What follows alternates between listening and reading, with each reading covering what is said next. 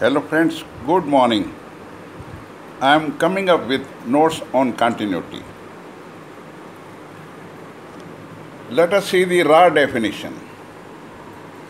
A function is continuous when you can draw it without lifting pen or pencil. Why continuity? The adjoining chain graph displays why continuity is so important. Here is the chain.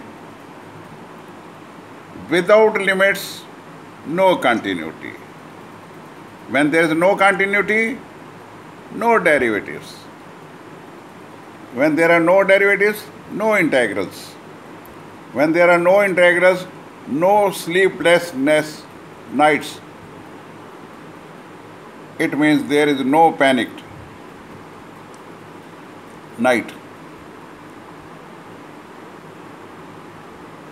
For cramming calculus, it means it is a lot of happiness for students. This is why it is very, very important.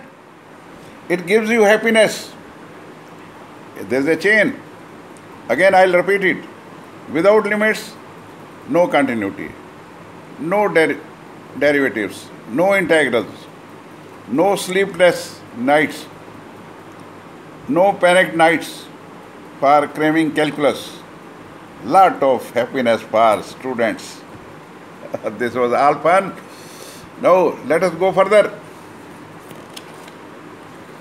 Definition continue of continuous functions. Definition is fx is continuous at x is equal to a. At x is equal to a. Condition number one fa is defined, value is defined, that is, definite value is there. Condition number two limit x goes to a, fx exists. Condition number three limit x goes to a, fx is equal to fa. Limit is equal to value. Condition number one is, again I repeat, fa is defined, it means it is finite. Limit exists, it means it is a definite limit. Then limit is equal to value. These are three must conditions.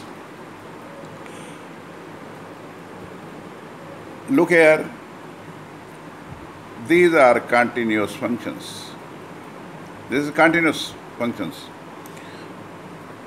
There is no break here, no break here, continuous functions. Discontinuous functions with a puncture देखिए, यहाँ पे puncture हो गया है। इस कर में यहाँ पे पंक्चर है। It is discontinuous with a puncture this graph is discontinuous with a puncture अब देखिए, यहाँ पे जंप हो गया है। Car was going like this when it reach there it jumped ऊपर चला गया फिर कंटिन्यूस हो गया सो there is a jump discontinuity third is discontinuous at infinity. Now look here, it is going, going, going, and so on. There is a break. Where will be the break? At infinity. So it is discontinuous at infinity. This is a curve, but it is broken here. But this curve is going up. This is coming from up to down. But we don't know where it is discontinuous it is discontinuous at infinity so uh, now some implications are there relation between continuity and differentiability differentiable means continuous not continuous when it is continuous it is differentiable. Not continuous not differentiable.